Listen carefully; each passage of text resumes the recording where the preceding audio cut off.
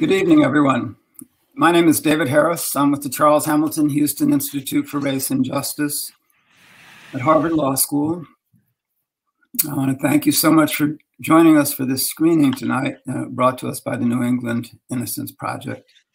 Um, uh, you know, it's a, it, it is on some level an incredible day, and, and, I'm sure we all are processing a great deal of emotion at this point, and um, uh, we we want to honor that and recognize it as we uh, as we watch this film and and and discuss um, discuss its contents afterwards. Um, you know, I'm really pleased to, to have the Houston Institute join the ACLU in co-sponsoring ACLU of Massachusetts in co-sponsoring this uh, this screening, and really pleased to be able to be here with you all tonight with Radha Natarajan and uh, uh, Rahsaan Hall. Uh, we're going to start the film, and I have to say before we do so that, that even though there's a there's a warning at the beginning of the film, the film is incredibly graphic in some regards and contains some some images that especially today might be might be troubling and uh, we encourage any of you who, who find it so uh, to to you know leave the room and rejoin us for the conversation. Uh, you know this film itself is filled with with a great deal of detail and sobering statistical information. Um, you know, I, I, don't really want to say more except that that that I'm hopeful that that all of us uh, find some way to uh, to maintain our equilibrium as we as we contemplate the verdict and and and our futures. And uh, we hope that today's screening and conversation can be part of that process in crafting the future that we can all share. Uh, you know, I wanted to invite uh, and Radha to, to give a few remarks before we start the screening. Rahsaan, you're showing up.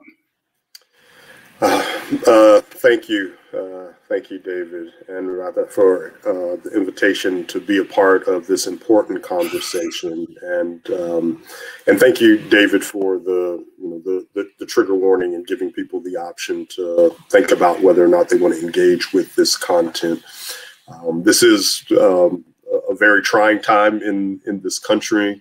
Um, that said, it's all it's always been a very trying time uh, in this country, particularly for uh, people of color um, and um, you know, BIPOC folks, Black, Indigenous, and people of color. I think it's uh, a conversation, though, nevertheless, that is a very important one um, to have. So even if you feel that you cannot deal with the uh, the images of police violence. Um, please tune back in for the conversation at least, or revisit the whole session uh, at another time. Thank you all for uh, uh participating this evening and look forward to uh, a very important conversation.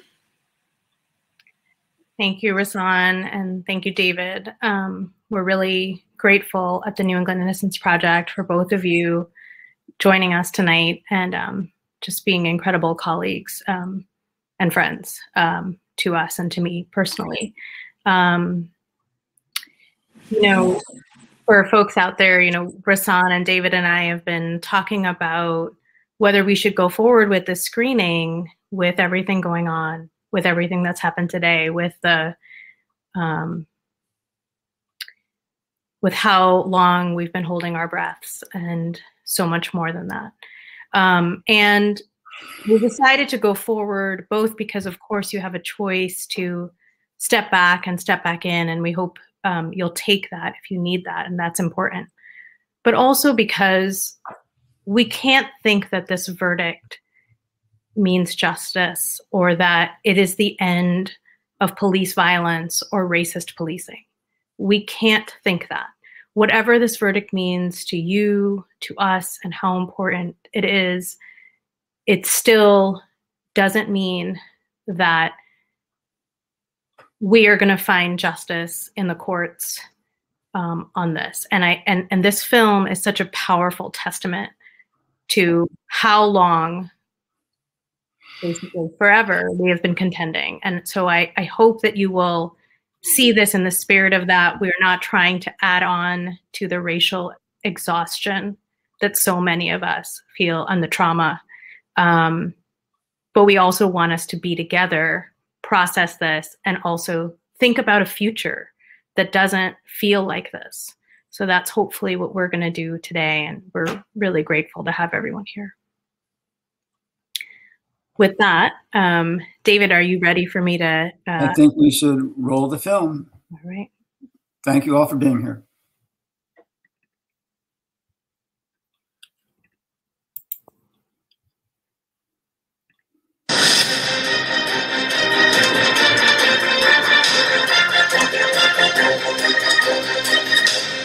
Biggest misconception about misdemeanors is that they are minor.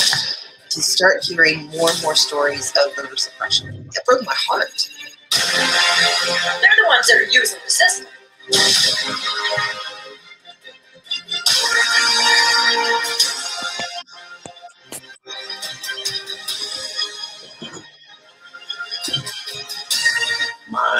Grandma was fighting for integration back in her day, and I'm fighting for the same thing now. The problem is the system is working the way it's supposed to.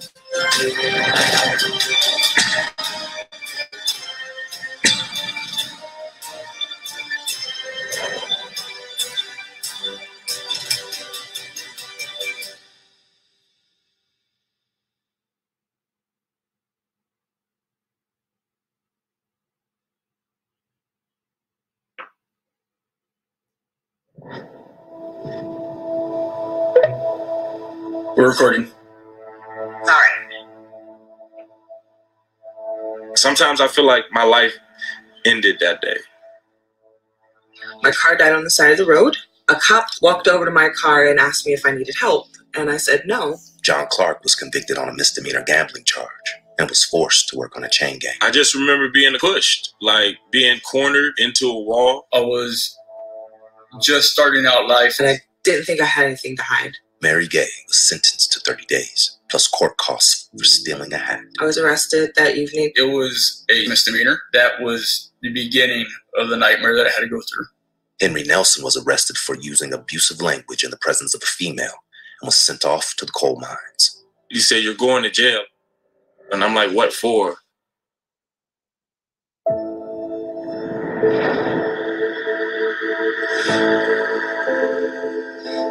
Misdemeanors have historically been the chump change crimes that we didn't pay attention to. I've done nothing. I've done Man, I just got beat up by the police last night. I could have lost my life. 13 million. That's about 80% of all American criminal dockets. 80% of what our criminal courts do is misdemeanors. The story of misdemeanors is the story of law enforcement continuing to prioritize African Americans, Mexican immigrants, uh, America's so-called criminal class. You act like I really just committed a serious crime. You did do something illegal. You crossed the crosswalk. You might see two or three police standing here waiting for you. Cops will jump out of the van anytime, anywhere. The misdemeanor system has not gotten its fair share of blame. Misdemeanors are the invidious first step in the racialization of crime in this country. Too often, arrests for minor crimes devolve into police violence and death for black and brown people you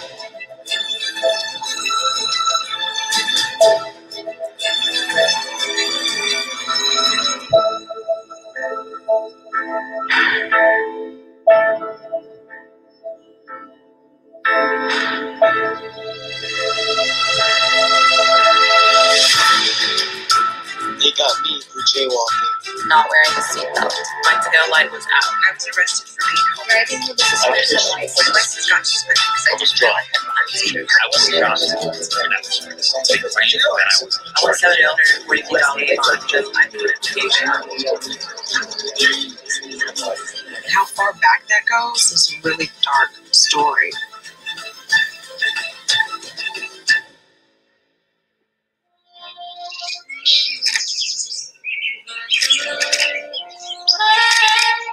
Reconstruction was an era when 4 million African Americans made it out of bondage and were able to achieve at really high levels, whether it was in business, um, in, in education, um, different ways of prosperity that really threatened white supremacy.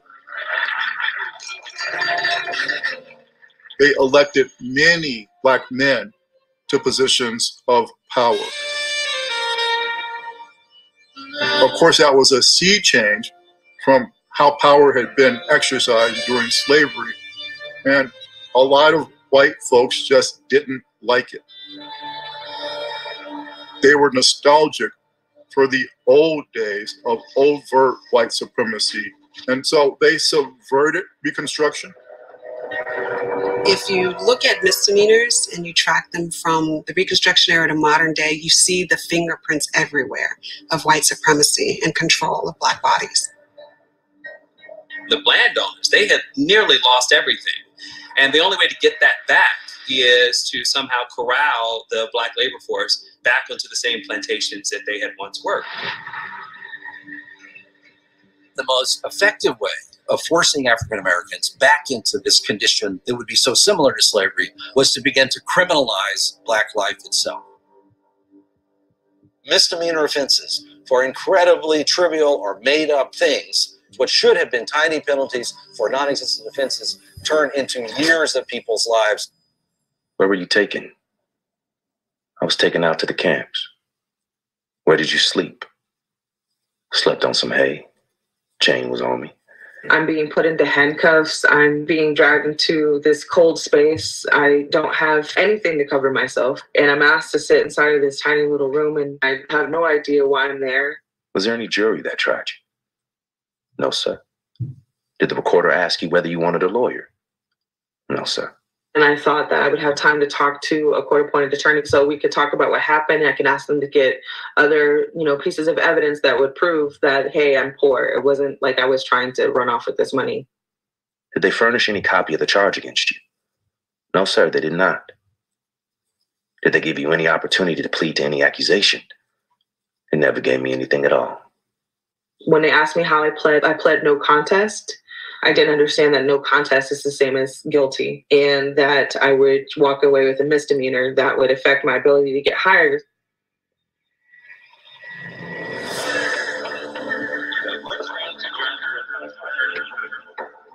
The justice system after emancipation was weaponized against Black people. It perpetuated slavery by making the mechanisms of enslavement pretty much the same family separation, backbreaking labor, people having no rights. You could be sold on the steps of the courthouse that you were convicted in and given to the highest bidder. A whole separate criminal code that applied to African Americans was established. Many misdemeanor offenses are best understood as mechanisms of social control they're not designed to catch dangerous or guilty people, but rather they are tools. We give them to police as additional ways of exercising their authority. Some of these laws were overtly race based. And with others then and now, the understanding was that the laws would look race neutral, but they would be applied and enforced almost exclusively against Black people for these governments to sell prisoners into slavery, you first have to arrest lots of people. There's a big problem with that, though. There's just not enough crime for this system to work and for it to be profitable. The state governments of the South had to invent new crimes. Southern legislatures, which are essentially run by Confederates at that time, are trying to reinscribe a form of slavery through a system of laws called black codes. A whole category of new statutes passed in almost every southern state that attached these enormous penalties to what were in reality very minor thefts. Those were laws and many others like it that were only ever enforced against African Americans. And so it became a way to have a basis for arresting huge numbers of black people. I don't remember much about writing the check. John Owen was caught taking six ears of corn from a cornfield and was arrested under the black codes. This is four dollars, and we have one, two, three, four, five, six, seven. Seven times four is twenty-eight dollars. So just this pile right here is how much I went to jail for. Owen was put in jail for months until he was finally tried for theft. I have a theft charge, it's theft by check. I had money in the bank, but I didn't know how long it took for checks to process. Like I know better now. I could have donated plasma, gotten twenty-five dollars. Under his sentence, Owen was leased into convict labor and sent to the chain gang where he served two years for the corn and a third year for the court costs. I was in the Hayes County Jail for a total of 45 days for $25 worth of food. Michael Brown, who was the teenager who was killed by police in Ferguson, whose death led to the explosion of the Black Lives Matter movement, he was stopped for jaywalking. He stepped off the sidewalk and was walking in the street, and there was a local criminal ordinance that made it a crime to do so. African Americans are being cited for jaywalking at three, five, ten times the rate of white pedestrians. The legislatures of the white South make it a crime to walk alongside a railroad in an era which there are no paved roads. The easiest way for a poor person to get from one place to another is to walk alongside a railroad. That law didn't say this only applies to black people, but those were laws that were only ever enforced against African Americans. All of us engage in what would be considered to be minor crimes. And for some people, it's crossing the street at the wrong time. But if you're black or brown, then it becomes categorized as something that's criminal. What you didn't use a crosswalk. All I'm trying to do is go home, man. I'm tired. I just got off from work. Nandi Kane says he was walking home from work when it happened. Because I felt like they were gonna draw a gun out and shoot me in my back. I'm tired of all this shit, man.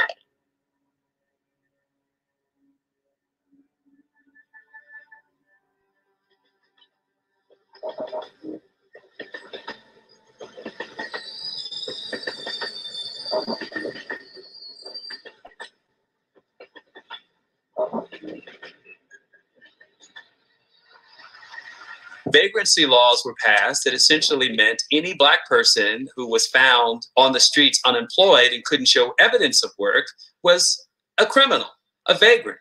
Trespass laws originate from this idea that African Americans only belong in certain spaces and at certain times. And so they give police officers the ability, under the guise of law, to dictate where an African American person can be, what time they can be there, and how they can operate in certain spaces. My kids' daycare was inside of one of the buildings to the um, Skyway, so I figured I'd take a walk, find somewhere to sit down, and um, wait on them to get there. I'm going to New Horizons to pick up my kids. I was sitting there for 10 minutes. That's Monroe Dolphus was standing in the train yard when he was grabbed by the sheriff's deputy. Monroe stated that he had not committed any crime. Wait, wait, to go to jail. I'm not doing anything wrong. Hold on, Can you Hold on. please? I'm not- no, no, come on, brother. Hold on, I'm Please, not- can I'm not you your please? brother. This is assault. At this moment, I saw my children's daycare class and their teachers and everything um, walking past while this was happening. He took the taser and drove it into my leg, and pretty much at that point lost all control of the leg. The deputy later claimed that the crime committed by Dolphus was taking a 25 cent tin of fish from the lunch pail of a Southern Railway worker. Unable to provide any evidence to support this, the charge was changed to vagrancy. And I kept asking them what I was being charged with. They'll create false charges just to make sure that everything is perpetuated. Judge Longshore found Dolphus guilty of misdemeanor vagrancy and sentenced him to five months and 20 days of hard labor in the mines of Tennessee Coal, Iron, and Railroad. Going back to the vagrancy laws of the late 19th century, the people who make those laws have in mind another group of people for whom there is an inherent threat to their livelihood, like breaking barbecue ordinances in public parks or sleeping in dormitories that white people don't think you live there. It allows law enforcement to regulate whether or not certain behavior for one group of people is deemed uh, criminal and another group of people uh, is just frivolous activity. Many people remember the Starbucks debacle in Philadelphia. There were two African American men at a Starbucks. The employee had them arrested for loitering, where they're clearly not engaging in that behavior.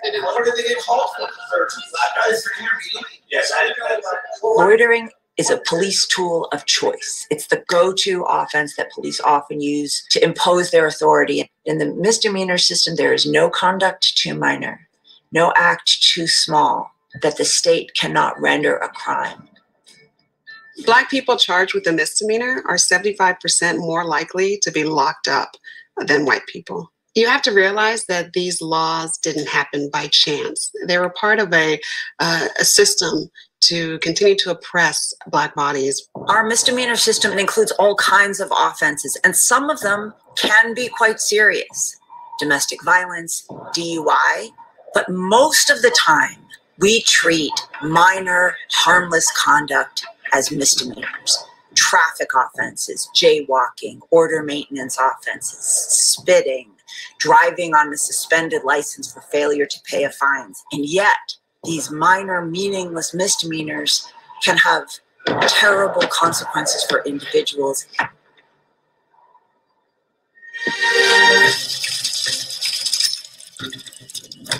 To understand the misdemeanor system, follow the money.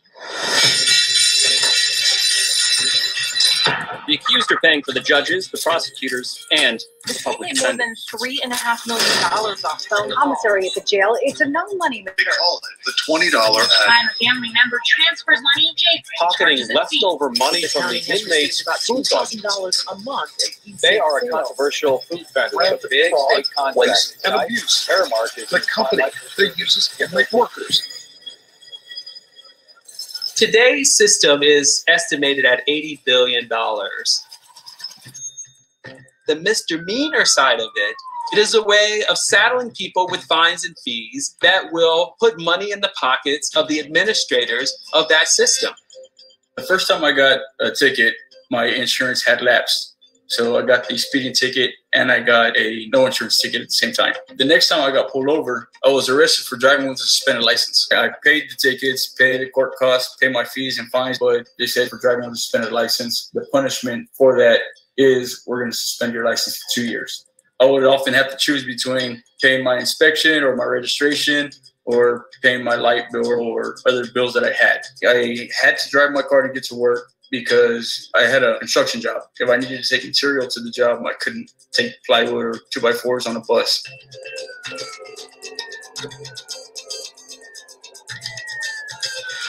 I felt like there was no way I was gonna be able to take care of the kids on my own while you were out because I didn't know how long you were gonna be in jail.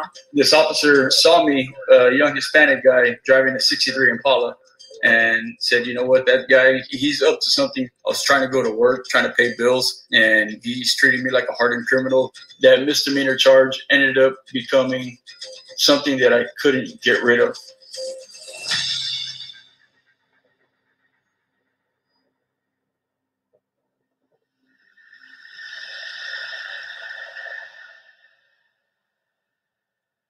They're being treated as revenue sources, charged daily fees for being in jail, supervision fees, tether fees, drug testing fees, database fees to fund bail bondsmen, private probation companies, electronic monitoring companies, drug testing companies. It is disturbingly similar to the way that we saw African Americans being exploited in the post war South.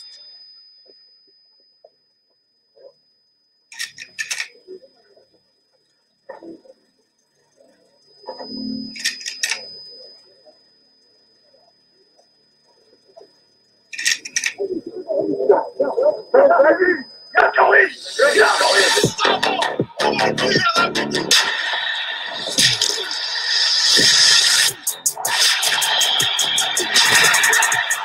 Demario Davis, uh, linebacker for the New Orleans Saints. I was born and raised in Mississippi, pretty much raised by a single mom. Entering into my second year of college, me and a teammate were caught shoplifting groceries from, from Walmart. it kind of felt a lot more like a drug bust than uh, um, us having stole some groceries. The bail was set at ten thousand dollars, and you know, I didn't have ten thousand dollars. The football coaches bailed us out. A misdemeanor, you're supposed to be able to uh, be in front of the judge within 90 days. But this is not happening. This is not happening in our country. We have people who are spending seven, eight months in jail who have not even been sentenced.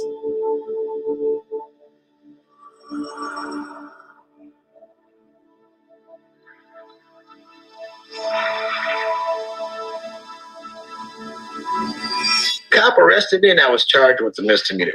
The term chain gang was coined on account of the shackle worn by convict laborers. They said, okay, listen, we're going to let you go home now. But Scram's going to come and uh, put a monitor on you. They were taken to an anvil where a rivet was pounded into the ankle cuffs to keep them closed. Then the cuffs were chained together. The initial fee to get on the scram was $250.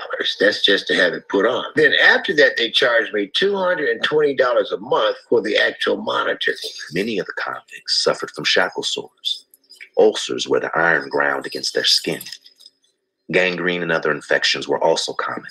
Right after they put it on me, they start causing these really severe sores and rashes. And their attitude pretty much is it's court ordered, it's by a judge, and you'll wear it, or you can go back to jail. The emaciated convict laborers worked their entire days barefoot, but the shackles were always on their ankles. They mined in them, slept in them, and those who died of disease or beatings were buried in them. What they're doing is unjust. What they're doing is profiteering because you, you're paying them. You're their slave with their shackle on your foot.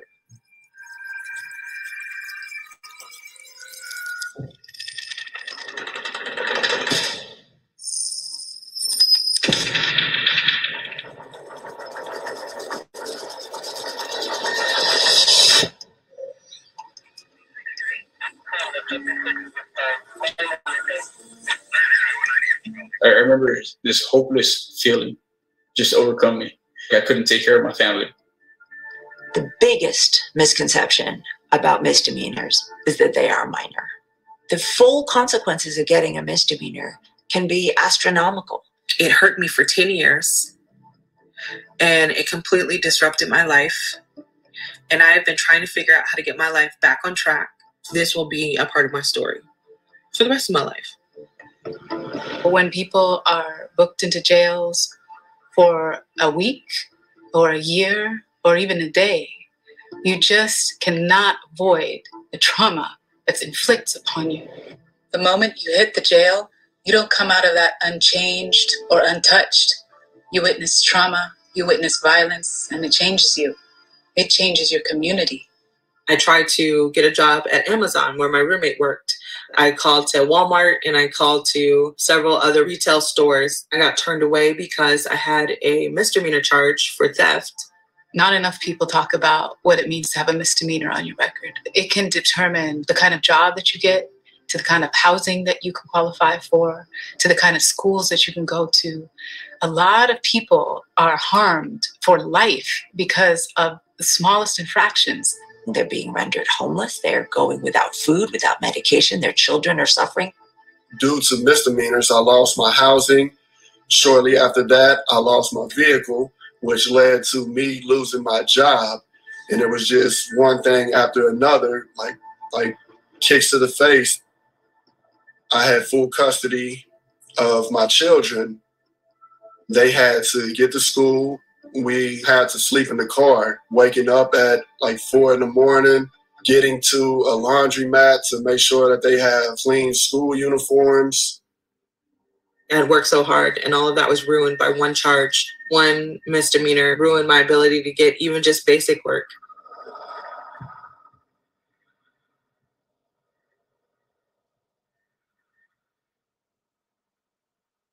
They can't get a job if they have to check a box that says they've been convicted of a crime. They can't even rent housing because they got poor credit when they received a ridiculous $500 speeding violation. So this system was designed both to extract from people, but also to marginalize their presence in society.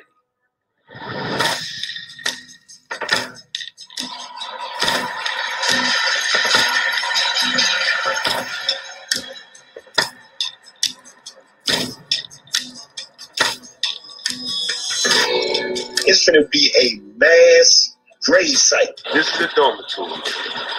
The stupid rider, these are the beds. They right beside each other, and this is the space. Everybody just dying and getting sick and shit. Like this shit serious as fuck. Bro, you alright? Mm-mm. You want me to go get the police? No. What have you done, this bitch? You ain't gonna do nothing, bro. This motherfucker literally in this bitch dying, bro. I don't know what to do. One of the worst places to be during this pandemic is locked up in jail. The judge never said I'm sending you to prison to die. Same horror story is emerging of the unchecked spread of infection and inmates essentially being left to die. now jaywalking or theft of a small amount or any sort of vagrancy type of um, behavior can lead to your incarceration and eventual contracting of the virus and death. I've been in jail for two and a half months for petty theft, a nonviolent crime that carries a misdemeanor charge for the price value of uh, less than $100. There's been three deaths, two being inmates, one being a guard. As far as like people who are working for the facility, they're like intertwined. They could easily be catching it. How one of the guards caught it. My life is in danger.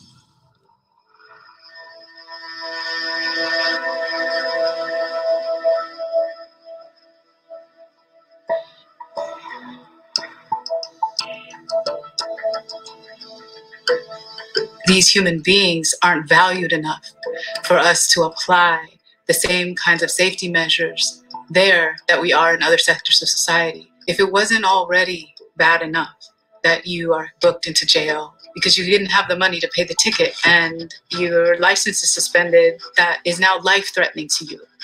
Sheriff's Office is now releasing non-violent inmates as a next step in mitigating the spread of COVID-19. Hundreds of inmates have been released from Shelby County's jail in an effort to put fewer people at risk for coronavirus. 600 inmates A total of Sheriff's 38 Office can now inmates release certain inmates They were their inmates. time is. Now they're freed people. because of COVID 19, thousands of misdemeanor defendants are rightly being released. It's clear that these individuals should have never been incarcerated in the first place.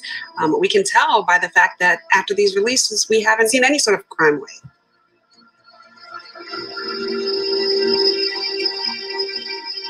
There's a different type of crime wave that should concern us, though, and that's the crime of violence against Black people post Civil War.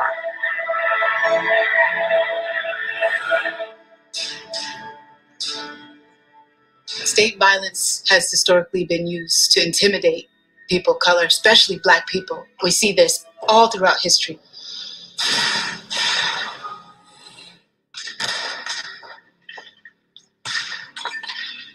misdemeanors, they have almost nothing to do with public safety. What misdemeanors do is give police an extraordinary amount of discretion with any minor offense premised on the idea that the black man is a threat. Misdemeanors are a very specific mechanism that legalize violence toward Black people and keep them in a very particular place, not just as individuals, but as an entire community of people. When we look at so many cases in history, often what started as an investigation or a claim of a petty misdemeanor offense led to police officers supported and sanctioned racial terrorism.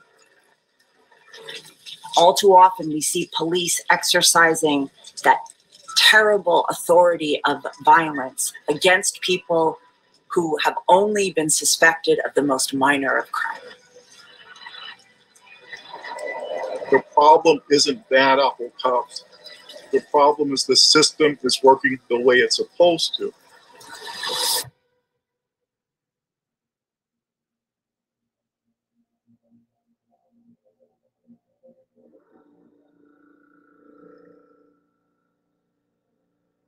Police shot this boy outside my apartment. they killed him.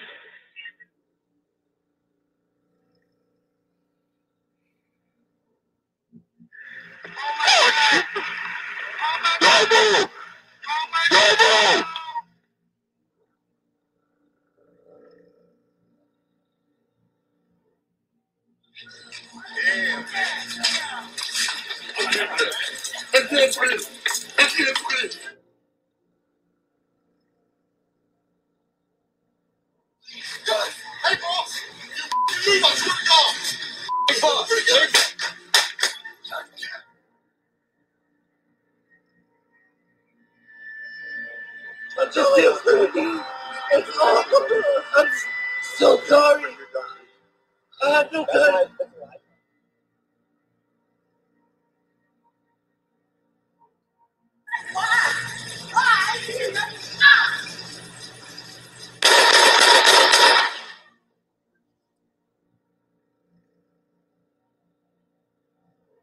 Gray appeared to be unable to walk and was screaming as he was carried, feet dragging on the ground, to a police van.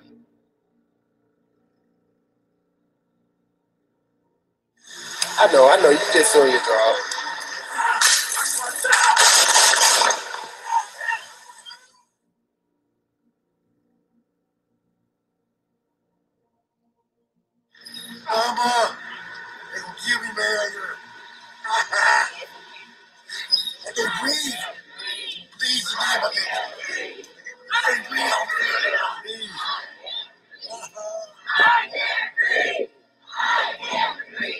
My life could have so easily been taken in that skyway.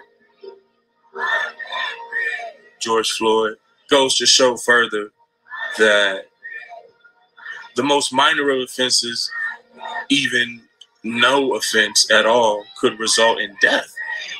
The very purpose of racial terrorism is control, is social control. What we have seen in the killings of those accused was that misdemeanors became the gateway for police violence and murder.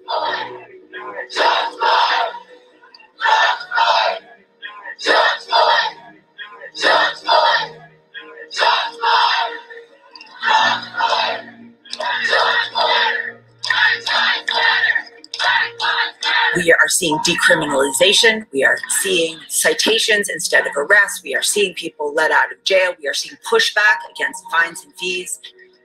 But at the same time, there is so much more work that needs to be done. Who defined what a misdemeanor is? The whole thing was built on exploitation, on racial violence, on building up industrial capitalism. We should not be locking up people who speed, who are too poor to pay a fine or a fee, who loiter or trespass or jaywalk. They're not dangerous. They're not scary. There's never been a good reason to lock up anybody for petty offenses. Like slavery back in the day, the law itself is doing the work of oppression. The criminal law is providing the authority to arrest Black people, to punish Black people, to kill Black people. And ultimately, the real crime is that we're Black.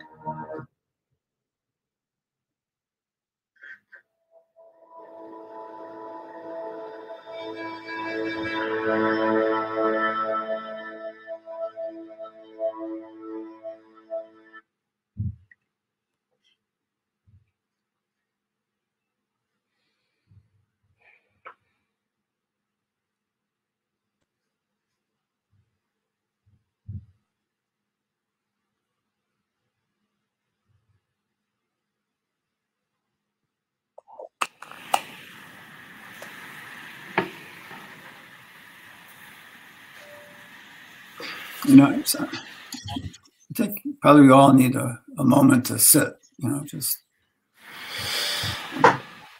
absorb a little bit.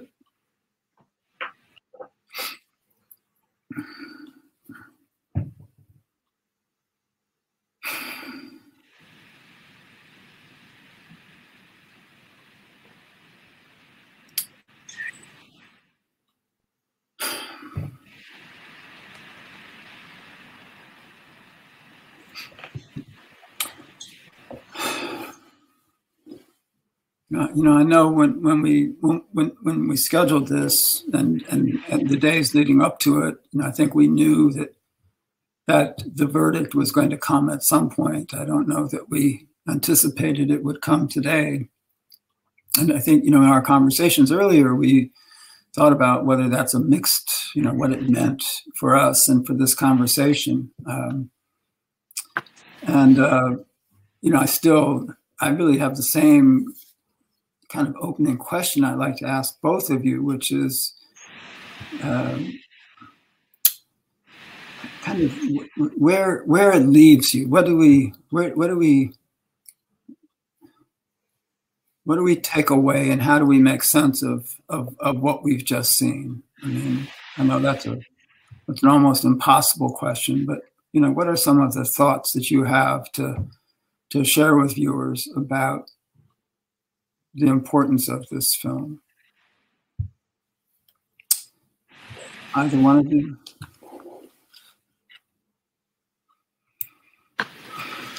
Um, uh, it, it, it leaves me resolute in the need to abolish police. Um, it leaves me recommitted to the work of, of narrative shift, um, helping people understand the roots of the system of oppression and how this uninterrupted thread runs from slavery through mass incarceration. And it's unfortunate that it's events like these, um, these police killings uh, that have captured headlines and have led people to the streets, um, are the things that really begin to shift the public conversation about the problem uh, of policing. It makes it harder to defend the institution of policing when people have a comprehensive understanding of of how it is executed in a racialized way. Um, you know, um, but I'm also left grieving uh, because I, I think of the hundreds of thousands, if not millions of people whose lives have been disrupted, derailed, destroyed, um, or deleted because of not only the institution of policing and its uh, in, inherent embedded racism, um, its toxic masculinity, its perpetuation of predatory capitalism or maintenance of that system, uh, but but particularly the, the, the policing of these low-level offenses, these misdemeanors, the tool in the tool belt of law enforcement that allows them to to exercise the grant that we have given them,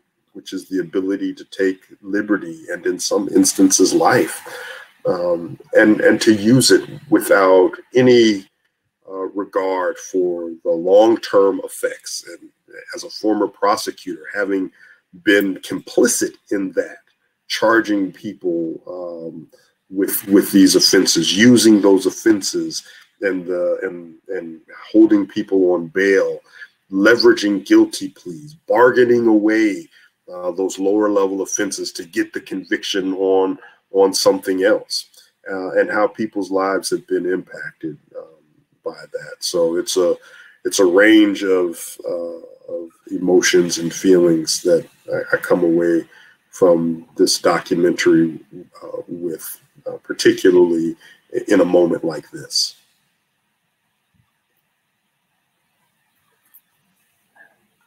Thank you, Rahsaan. Um, I think my first thought was really about this narrative shift. It is, you know, this film, which is only 35 minutes, is such a powerful catalog of our history.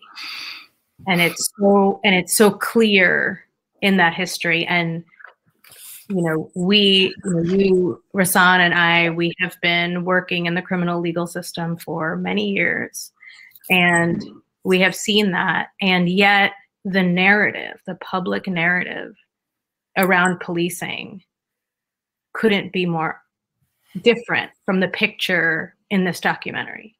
It's about someone putting their lives on the line for us. It is, uh, we should be so grateful to the sacrifice that is being made in our name. And I think this film is. Uh,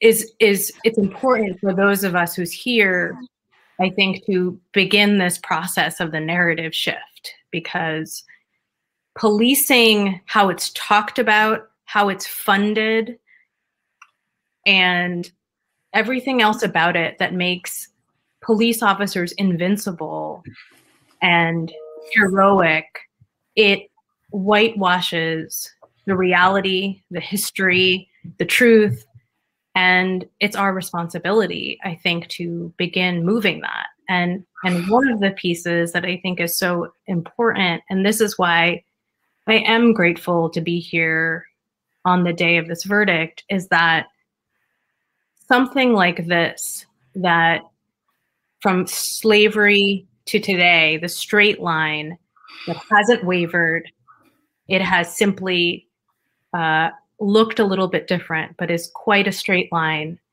that it doesn't take a verdict doesn't change that.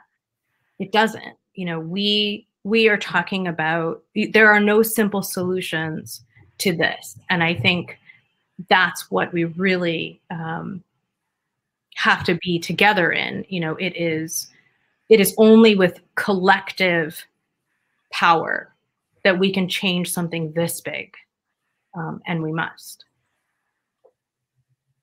Mm-hmm. Yeah, you know, as, as I was watching it, I was thinking, you know, the, the, the the context of the film is misdemeanors, right? It's a category of crime, so-called, right? Transgressions. Uh, but the film is, as you both have said, about policing, and, you know, one of the things is that whatever happened today happened to an individual and not to the institution of policing. And we might take some comfort that there's some degree of, of justice wrought, you know, for George Floyd. Uh, but what's what's most clear, I think, about this film is the the continued excess of the role of policing as what is described in the film as social control. Um, you know, I, you know, one of the things I was I thought about, you know, in terms of the film is, you know, that uh, this guy Douglas Blackmon is is featured in the film, and Douglas Blackmon's book uh, came out in 2008, right? Slavery by Another Name, and uh, and you know, the, the question, you know, really the question we have to ask of ourselves is how much data do we need? How many examples do we need? How do we, Rahsaan, uh, move toward that? So, so that the question uh, or, or, or, of, of abolition, right? How do we change the narrative in a way that we don't have to have another film like this in five years and you know reminders of this history which which we really have known for a while right? I mean i think that's i think that's that's the conundrum really. Do, do we think this this opens the door for that narrative shift? And it, it's hard to say david. I mean you know for some for some folks you know a film like this might provoke that moment of cognitive dissonance where they're trying to make sense of the information that's being presented to them that is in stark conflict with the um, their understanding uh, of of police. And and but I, I i think that's just a small handful of people. Maybe it's more right? The circles i travel in probably have have have biased me in in that way.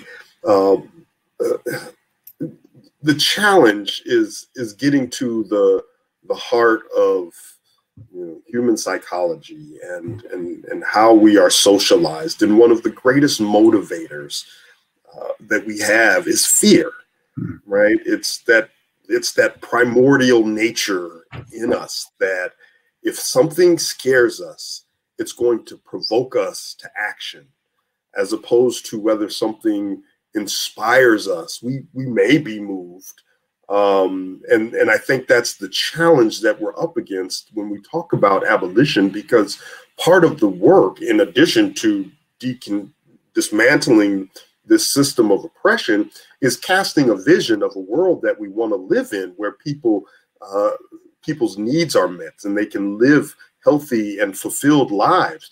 Um, but as as inspirational as that may sound, it's not the same type of motivator as fear is.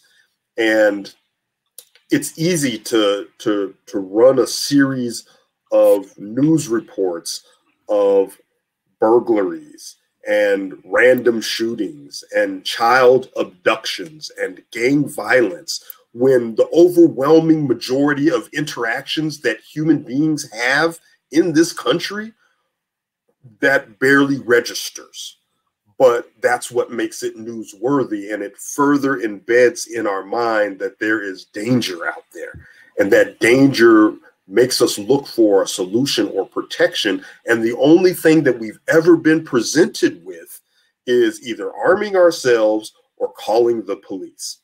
And and the and the role of police and the and the and, and 911 in particular uh, has exacerbated and, and weaponized racial biases.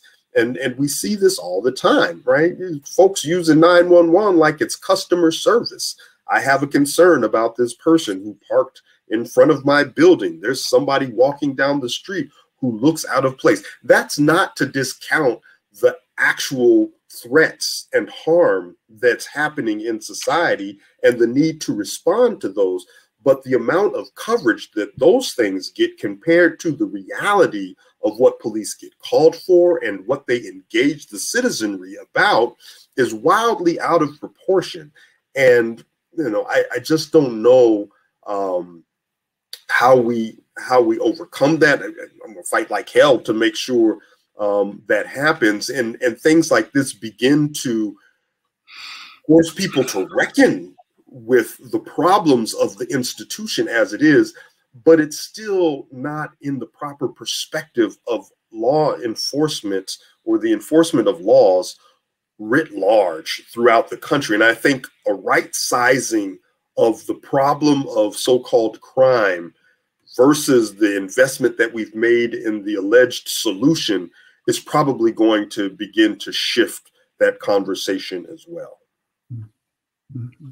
Radha, do you have do you have thoughts on that? Uh, how we do this? I mean, I think just to pick to, to comment on one thing you said, Rahsaan. I mean, I think uh, you know the question is who's afraid and of what, um, because one of the things that's very clear in the film is that black people and people of color have cause to be afraid of the police, and there's there there is real legitimate fear there, and so the question is how do you register the the uh, the legitimacy of that fear? You know, in, you know, in, in, in relation to the fear that you're discussing. So, so Radha, I'm sorry, I don't. I mean, if you have thoughts on kind of how we we move this narrative in a way that that maybe centers the, the fear that we have. Uh,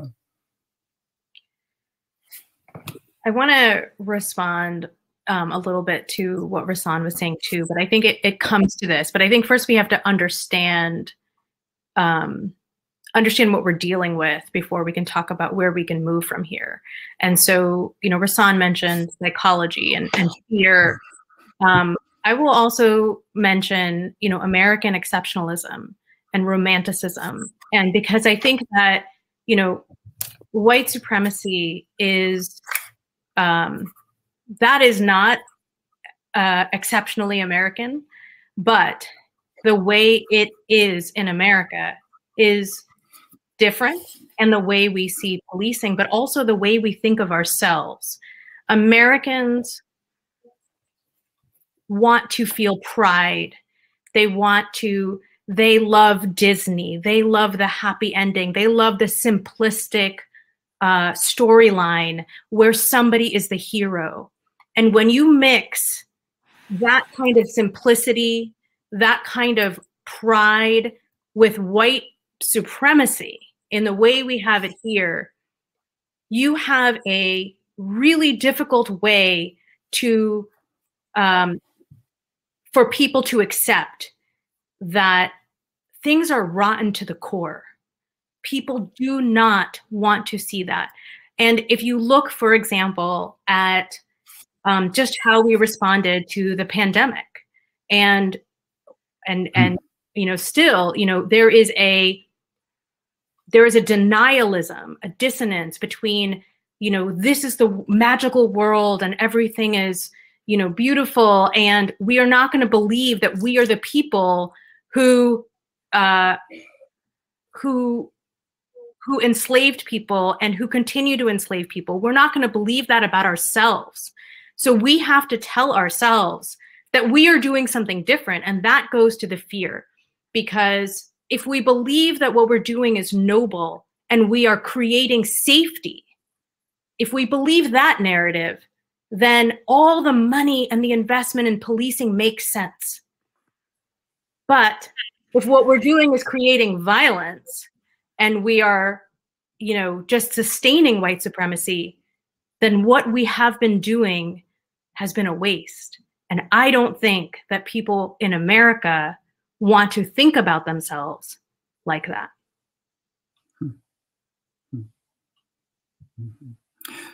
I mean, and rather it does it does raise the question about whose safety is at stake, right? Even in that conversation. But I mean, in, speaking of exceptionalism, and one of the things I think you know I'm curious about is that that people in Massachusetts think of Massachusetts as Boston and as being immune from these things. You know, I mean, we have our own history with Chuck Stuart and ACLU studies and you know the history of racial profiling, and we think that that Boston doesn't suffer from these policing woes, and that somehow, uh, even though our, our Supreme Judicial Court has started to see otherwise, um, you know, I, I wonder, you know, if you all have thoughts about, you know, the the recent sweeping police. I mean, we had last year, you know, the the legislature uh, brought out the broom and gave us sweeping uh, police reform. Um, and um, you know, and I and I and I wonder kind of what your thoughts are on, on that that legislation, and and and if you you know you know how do we if we have questions about it, how do we? I mean, that was that that legislation was passed, you know, in, in, fact, allegedly in response to the murder of George Floyd. Yeah, um, you know, I, I think first, like, yes, it, it, it does in fact um, happen here. Um, and, you know, ACLU, we did in the midst of this legislative campaign, launched a site, uh, Police Violence Happen Here, to, to pinpoint the locations um, where police violence happened. I mean, we, we need no look no further um, than you know the the drug laboratory scandal mm-hmm. or you know the case of, of Sean Ellis um, and and his uh, wrongful conviction or any number of people uh, who the Innocence Project has has helped uh, to be exonerated or those that they they couldn't get to um, who are still uh, wrongfully convicted. I, I think and and it's and and the roots of this problem separate and apart from the societal issues around structural racism, white supremacy, et cetera, um, uh, begin with policing and the way that policing happens in community. And to the extent that this was sweeping um, uh, police reform legislation, uh, if this was the way I swept my kitchen as uh, as a child, I would have gotten a whooping for it. So it touched every part of the kitchen, but I didn't get up the dirt. Um, and so I, I, I say that, um, you know, to while at the same time acknowledging that there that there were some significant strides um, there, but but I'm conflicted about some of them. The the centerpiece of this bill was the creation of a post commission, a police or a peace officer standards and training commission that sets the standards for policing and for police training. It certifies police officers, but more importantly, it has the ability to decertify them and can conduct investigations into police departments um, and keep a registry of decertified officers so a bad officer can't go from one department to the next. Those are all uh, good things, but at the same time, while doing that, it further cements the presence of police because now we've certified them and we've given them the seal of approval of the state. Um, you know, it, it, it tries to regulate face surveillance. It barely touches qualified immunity. It did put in some place some uh, some reforms to the to use of force um, standards uh, to prevent chokeholds, to limit the use of no-knock warrants, um, to put some limits on kinetic impact weapons or rubber bullets and chemical uh, chemical crowd control uh, weapons. Uh, but none of those things are going to get to the heart of the problem of policing, which is we use this blunt object to address all of the societal ills that they are not equipped to address. And it's too draconian uh, of, a, of a remedy to the extent that that's how we're looking at it um, to, to address people's underlying um, needs. And then if you filter on top of that uh, the, the, the, biases um, and the problematic behavior of the officers uh, who have been uh, empowered with the ability to enforce the laws, uh, that is only exacerbated, particularly in poor communities and communities uh, uh, of color. And then there's a ton of study commissions to study the things that we already been telling folks need to be changed. But now we're going to have some data behind it and some recommendations from a panel of experts that the legislature may or may not embrace or uh, or adopt. So, uh, on one level, it's kind of like busy work. On another level, it's in some respects harm reduction because it uh, attempts to limit the, the, impact of the harm that uh, that police are engaged in. Um, but it's a it's one step in a long journey uh, to uh, dramatically um, um, uh, reducing the footprint uh, of police. Radha, did you have thoughts on either kind of the, the, the Massachusetts exceptionalism or on our on our uh, the legislation that we had last last year? Commissions are not a response to murder, to state violence, or white supremacy. That is bottom line. Commissions are not the response. We don't need more studies we don't need more data. And if anything, commissions create complacency. So the question is in this laundry list of some things, is there anything there that is going to reduce the presence of police or just create more scaffolding so that people feel better, that they feel like they are doing something when they're not? It is, um, it is again, it is it is magical thinking. It is a solution that is not at all uh, fitting to what we're seeing here. Um, you know, you see this film, and if you come away with this by saying, let's form a commission, then we watch something different. You know, if you live your life, you know, in the watching what's happening in the criminal legal system, and I, for all of you, you know, when it's safe to do so, please go to court and see what is mm-hmm. happening in your name it is um, a commission is not the response. What i want to know is by how by how many percentage points is every single municipality in massachusetts and the state for the state police cutting their police budget? That's what i want to know. That's harm reduction to me. It's not it's not a mm-hmm. study. We we know this. Mm-hmm. we know what the problem is. We know what the solution is and this is just um, it's telling us but just you know just keep waiting for justice. Just keep mm-hmm. waiting for justice. And I, am sorry I, I mm-hmm. can't i can't be anything but skeptical. And i would love to be proven wrong about these reforms that we've seen. I would love that. Um, Yeah, I mean, you know, it's interesting. I, I, I have said all along, I and, and in watching this film, I, I missed the placard that said "No new commissions, no peace." Right? I mean, that, that's not what people were on the street about. Right? I, maybe it was maybe someone had that sign, but uh, and and the fact is that that sorry, come on, Tom, you've heard me say that before. Uh, it's great um, though. I love it. well, well, it's true. I mean, and it's painful. I mean, I mean, I think it really, you know, and and and as we know, I mean, you know, people have been killed by by chokeholds where chokeholds are illegal. Chokeholds, you know, chokeholds by definition are illegal in many places.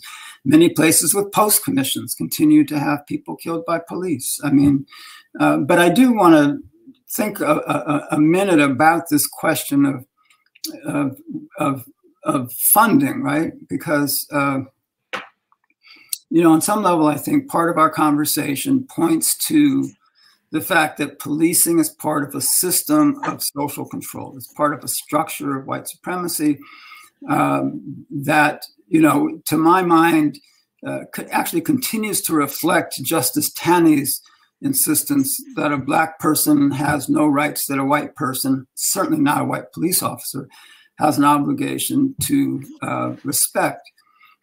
And to me, the the question I have is, is, is how do we distinguish between you know taking some money away and changing the structure right i mean and does uh, does you know we see now in Boston this debate over whether or not you know the, the police overtime you know the, the, money was spent anyway right um, and and so I I do I am curious to hear your thoughts on on on on how you know you know how it works in terms of taking money away. I, I mean I agree with you, but um, in in a way is that is that enough, right? I mean, does that does that change the structure of policing or change or, or simply change its reach in some ways? I'll start on this one. I mean, in a in a capitalistic society, a really capitalist society, um, money do, taking away money does a lot. Um, I don't even think we should underestimate the impact that could have. Um, so I I think it is a good starting point. Is it the end? of The end? No. But it's a better starting point than actually where we're starting. And one of the places, if you think about misdemeanors, and there was a question um, in the Q and A about who decides, you know, the misdemeanors. Well, you know, all of these laws are in our books, meaning the legislature has passed them every year. There are laws that are passed that create more laws, more criminal laws, more criminal penalties, uh, mandatory minimums. Uh, it creates all of these misdemeanors are embedded in our criminal code. So who creates them? First, we do because we elected people, right. then right. created these laws. And what we need to if uh, money as a starting point is we can get rid of the. That's also people driven. Things put into law can be taken out of law. People decide budgets. We elect people who are voting on budgets, and um, we can we can make it so that the uh, to the extent that there is money at all, to the extent that there is a structure there, that it's not used. Um, we take away the tools that allow it to be used for social control, at least reducing that. Because if you don't have this many police officers, if you don't have this many laws, if you don't have the excuse of they broke a law, so I'm going to enforce it, um, these are excuses that only exist because of the amount of money and resources we have put into the institution. So, you know, who created these things? We did. Who can get rid of them? We can. But uh, it has to be through collective action. There's no other way. It is not through. Um, it's not through hoping that somebody in power is going to make a decision um, this way. It's it's on us.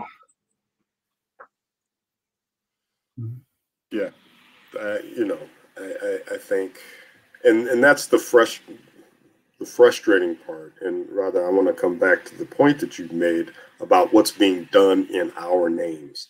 What what hap- what the police do, what the lawmakers do who make the laws, what the police do who execute those laws, as well as prosecutors and even judges. It's all being done in our name. It is the Commonwealth. As a prosecutor, I stood up on cases and said, Commonwealth. I am here representing the Commonwealth. When victims of crimes did not want to go forward because it was a family member that uh, was accused with a crime, I, as the prosecutor, had the power to go forward irrespective of their desires because I was representing the interests of the Commonwealth. And so, as long as the Commonwealth is made up of, um, you know, people who have a desire to want to be made safe from whatever number of boogeymans exist out there, these types of harms are going to start uh, or going to continue to happen. It's it's where you know, but now there's the possibility, um, you know, the, the window of discourse has shifted such that the conversation around defunding the police is, is something that is engaged with. Um, whereas before, you couldn't even have that conversation. So now um, there's some momentum behind that. We're still a long way off, but it's not just defunding the police either, because that's not going to, to do it. And the amount of money that's spent on policing, it could certainly do a lot to address some of the ills in society, whether it's around education, whether it's around youth violence intervention, whether it's around mental health issues or substance use disorder. But it is a far cry from what we actually need to make sure communities are made whole. And David, you've made this point time and time again. We've got to try to get away from like, let's just take it from the police and give it to these things, because that ain't gonna be enough to really and, and so and therein lies the problem because when when people start defunding police and shifting that money to social workers and to education programs and we're still seeing disruption in community they're going to say there's going to be folks who are going to say well see we told you it wasn't going to work. Look at the crime rates have gone up. Look at all these people who got shot or harmed because you wanted to defund the police but nobody's ever really addressed and took a made a commitment in addressing uh, the the deep underlying issues, and therefore the justification that we will always need the police uh, has resonance because people can't conceptualize a world in which we actually fund the things that we need to fund so people can live healthy and whole lives. Mm-hmm. Right. So again, you know, right. I mean, it's. I mean, if I, if I may, I mean, I do think, the, you know, one of the question, you know, we're begging the question of when we say we can change this, who is we, right? Uh, and you know, I, I, would suggest, you know, so you know, when when we passed the three strikes legislation, uh, however long ago that was, every every elected official of color voted against it. Wasn't enough.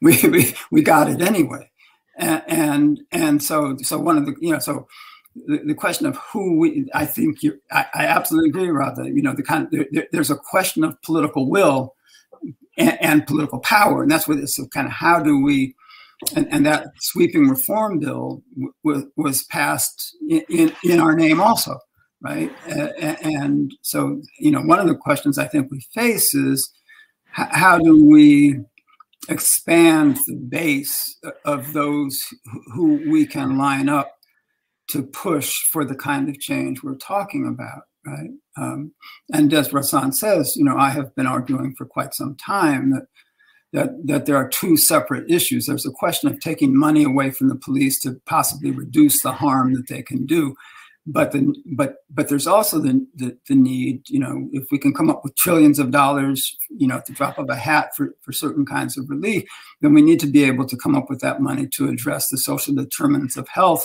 that are going to make our communities whole and safe and uh, instead of the police. Uh, but how we do that you know I, I, I wonder you know how we we mobilize the political will beyond those of us who are doing this work.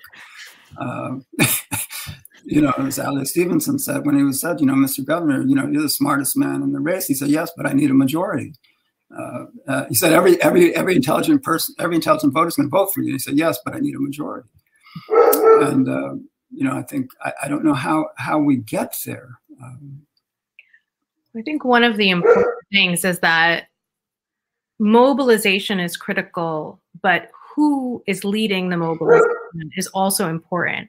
And that is because if people who are impacted are not leading the mobilization, there will be compromises in policy that allow things to happen in the name of progress, in the name of reform. Um, there are, and, and, what that ends up doing is having, you know, organizations, uh, you know, sort of fighting each other for who's going to get a win um, and who's going to claim victory and who's going to get the money. And, you know, again, it's like we're talking about uh, the capital, the capitalism that fuels even the pro, even fuels the people who are uh, working toward change. And I think that if the people who are the most impacted are the ones to, to make the determination to lead on what compromises are okay and in what circumstances something is not better than nothing. In what circumstances do we say, no, we don't need to pass something in George Floyd's name today because what I want is for there not to be a George Floyd tomorrow, right? And so I think that there, um, those compromises that we have become so accustomed to um, is something that we have to be less accustomed. We have to we have to say no. We're going to hold out for what is justice because we deserve that. It's been too long. So I, I think I think there has to be a ceding of power and then a mobilization behind people who uh, feel the impact of these compromises. Yeah, I, I, echo everything Radha just said. I, I also think somebody needs to get out and start mobilizing poor white folks. Like, where where is that movement? Where are the like? you know, I, I'm appreciative of, of progressive folks who want to come in communities of color and be supportive, but I'm gonna need you to go out and mobilize your folks too, right? Because until there's a, a, a new understanding of the common malady that afflicts us all,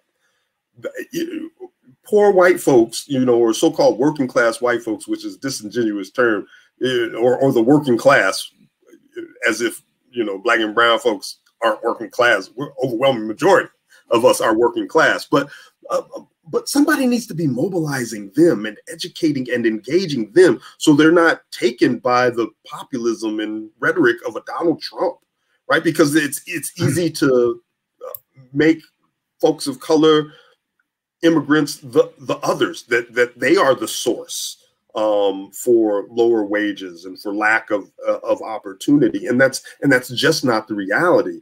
And that's the problem with white supremacy is that it impacts white people too. And you know and um and, and, and until folks are organizing in that space um, in a meaningful and robust way um, we're, we're gonna well not until but um, i think it's also important for that organizing uh, to happen and to David to to, to kind of you know you need a majority. Well, that that's that's part of the majority, um, and, and to get folks to recognize that they have a self interest in this as well. It's not just about feeling bad about what's happening to people of color and thinking that it's unjust, but it, it's it's but it's also happening to them and and recognizing the harm that it inflicts on them and their lives and their communities, um, I think is also a, a, a, supplement to, to following the lead of folks who are directly impacted. Yeah.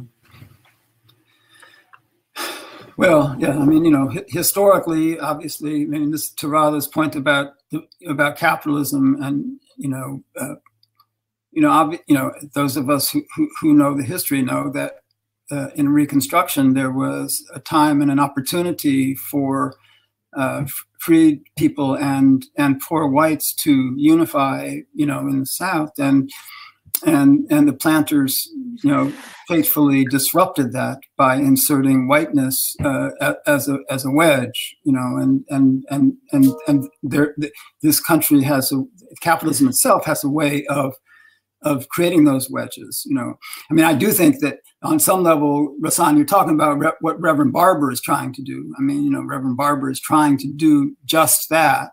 Um, you know, and you know, but I, I don't know how much, you know, how much, uh, you, you, know, how much influence he's having in that regard. Um, but I wanted to come back to something that you mentioned, Rahsaan, and I and I think it speaks to your work, uh, Radha, and, and that is the relationship between what we what we saw in the film and and and wrongful convictions. I mean, I think there's you know I wonder about this system of of of uh, uh, of, of, of, of, policing uh, and and you know and and Rahsaan you mentioned Sean Ellis and I know uh, uh, Radha you you do a, a, lot of work in this space and I wonder if you could speak to that in terms of the film and and, and the message that we should should, should absorb.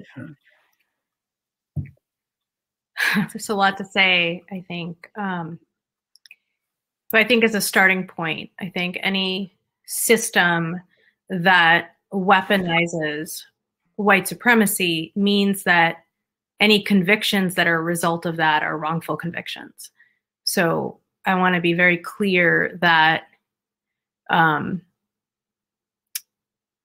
there is no integrity in the system that leads to these convictions, and therefore they are all wrongful convictions as a result.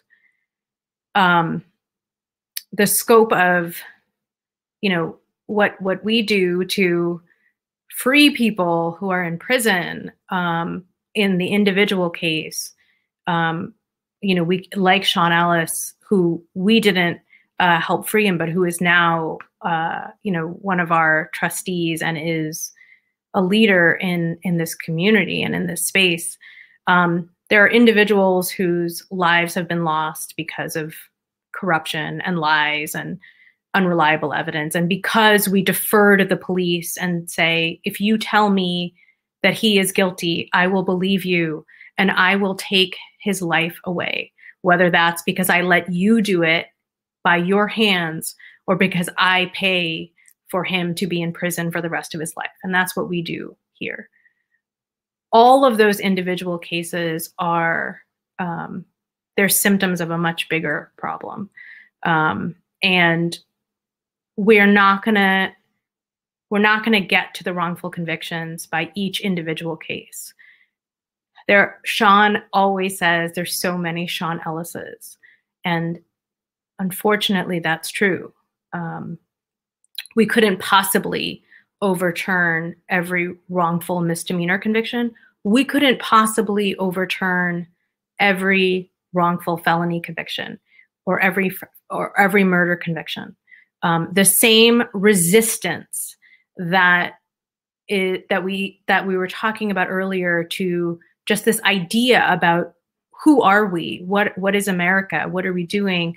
Um, that's the resistance we face every time we go to court and say someone is innocent. We are told that cannot be not in our system. And what we have to prove to free people is so much more than anybody had to prove to detain them and lock them up and take away their lives and and destroy communities. Um, so that is the battle that we take on um, in community with the people who are harmed every day. Mm-hmm.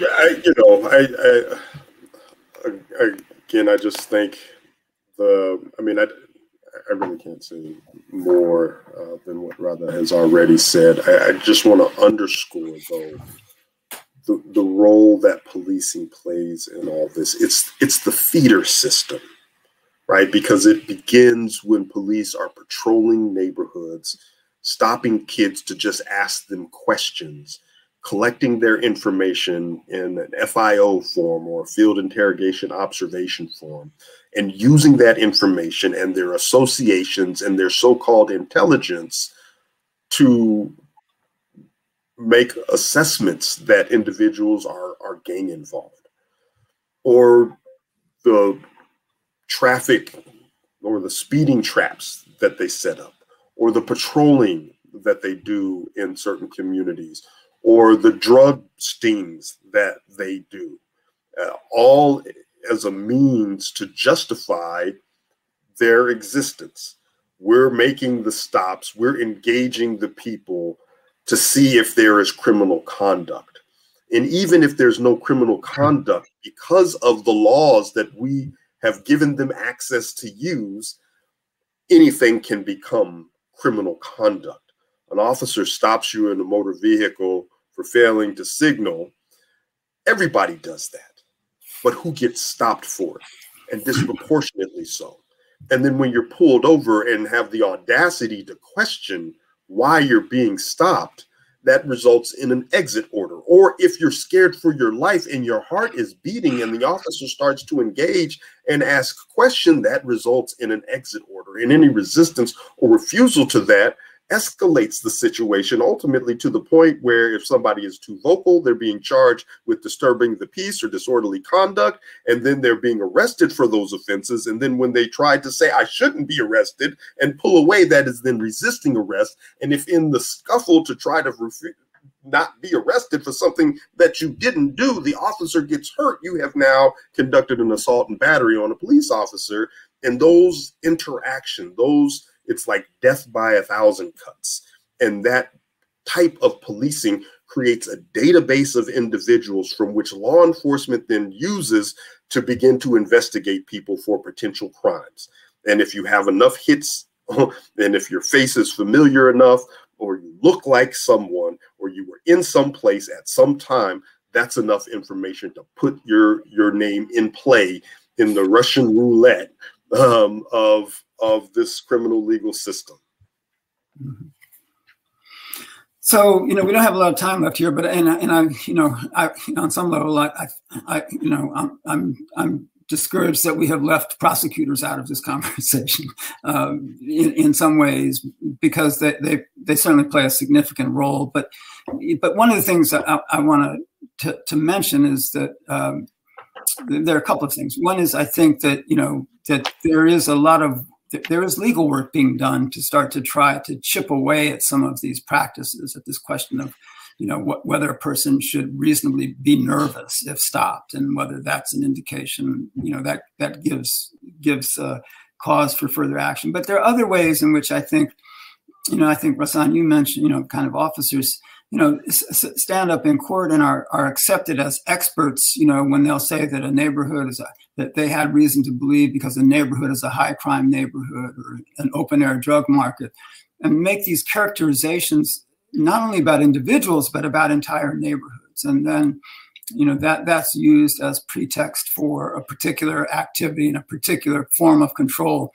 And, you know, I think, you know, if we're going to start to think about changing the narrative, we really have to address that too. Kind of what gets, what's allowed to be said in open court, you know, uh, you know, how, you know, and because, because those characterizations seep into the news and everything else so that so that, the characterization of a neighborhood as high crime even just the use of that term without its being specified you know um, really effectively uh, gives free play to the kind of policing you're talking about, Rahsaan. I mean, and, and I think if we're going to shift narratives, we have to address that kind of bias, community bias uh, that that we fight in additional to in addition to individual bias. And I think our communities are. Um, uh, are characterized as lesser than, as unsafe in some ways, and that's a real problem. So I'm sorry. That's that, but I think you know we have a little bit of time, and I and I and I'm curious from each of you, uh, you know, you know, a kind of if you can muster uh, an optimistic or positive thought about kind of how how we move forward, how on this day of all days, right? Um, uh, we, we recognize that this verdict doesn't vindicate a nation and doesn't change policing, but does it give us some idea, some hope? And if so, what, what, where do we go next? What do we do next? Either, either partic- small particular thing or large global thing. Right. I'll, I'll go first, so Radha can have the last word. That's appropriate. Um, uh, I'll, I'll end where um, I, I started. I'm. I think we need to commit ourselves to abolition um, in earnest, uh, and that includes not only just talking about the ways to uh, dismantle this system by, you know, divesting from it, defunding it, um, coming up with alternatives, but again, talking about the larger vision of the world that we want to live in that does not uh, not only doesn't rely on police, but don't ha- doesn't have police as a part of the equation because we will forever be stuck uh, in this conversation about public safety um, and and including police, and so we need to um, really commit to educating ourselves about what abolition really is um, and working towards it. Uh, we also need to commit uh, to shifting the narrative. Um, and so documentaries like this one um, are, are a good starting place. And there are tons, right? The, the 13th and um, in any number uh, of films, when they see us, uh, that just, again, begin to tell the story and just deconstruct the false notions of, of who we are as a country as defined by this criminal legal system.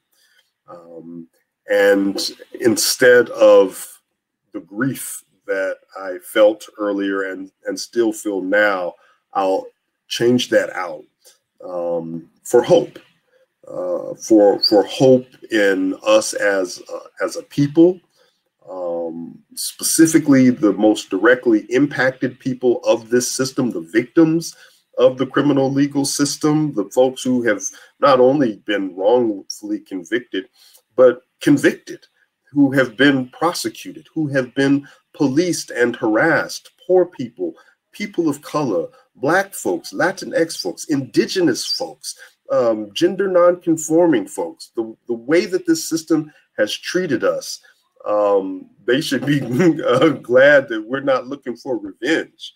Um, but but I think I, am hopeful that as more people uh, who are directly impacted are are uh, assuming leadership uh, positions, that the conversation continues uh, to be reframed as more people are are public um, uh, publishing uh, literature that talks about the reality of what this system is and what it does and where it comes from.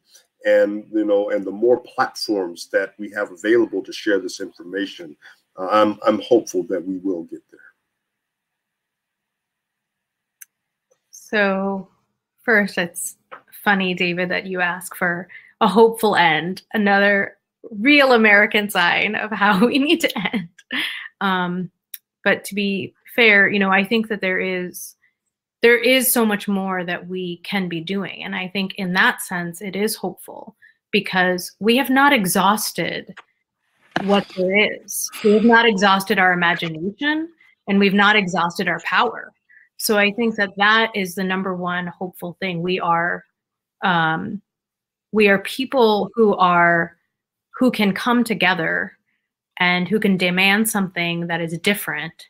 We can also, you know, we are all in communities. We are in families, we are in communities. And when we hear people with a narrative that we all now know is false, we can have a conversation. We can stop that and we can share what we know. And we can do that over and over, multiply, so that each of us are ambassadors of this knowledge and that we have that direct contact um, and that communication that we don't let the false narratives go by us. We stop them. And uh, and i think that that does in a multiplying effect matters. We're also jurors. You know we saw the power of jurors today. We are also voters. We are people who can go to our city council and tell them what we want with our tax dollars. We can do that. We should do that and we should do it together. And, you know, of course, there are those of us who are lawyers. And just like Rahsaan said, that police are feeders, but look at what happens after that. Yes, the police are the feeders. Then the prosecutors are the infrastructure, then the public defenders, then the judges, right? And then maybe the juries, but really it usually stops there because 90% of cases, more than 90%, you know, fall away there. And so the the issue is, you know, some of us, and I know some of the folks who are watching here today are actually in some of those roles or know people who are in those roles. And it is our job to stop that narrative each and every day. It is this it is our job to reprogram ourselves too because it's embedded in us. It is it's like water. It is in my 4-year-old, right? These are from, you know, from when you uh these are the myths that we are given and that we hold and we have to discard them for something that is better um, and i think we can uh, because we haven't tried everything that we can. We haven't tried it together. Um, so i guess in that sense i am hopeful. Um, well, thank you for digging deep and finding that hope. And to you, Rahsaan, I will say in, in closing, in 1857, with Dred Scott, I doubt that abolitionists thought they would see an end to slavery within eight years. And I think that we have to hold on to that and understand that that abolition is possible if we do what Radha's saying. So, you know, on that note, Radha, I thank you so much for for for for thinking of showing this, for hosting this, and, and to both of you and to all of you who came, you know, I, I do hope uh, that in some ways it has helped us and, and will help us move forward and uh, collectively, and that, that this community uh, uh is strong enough uh, to, to make real change. So thank, thank you everyone, Radha, uh, Rahsaan. And thank you, David, for really guiding us through this conversation, especially tonight. Yeah, thank you, David. So, so I think I'm, it's, you're in control here, Radha. I think. Yes. So. Okay. Good night, everyone. Thank you so much. And you will be able to watch this later for those who asked. Thank you so much.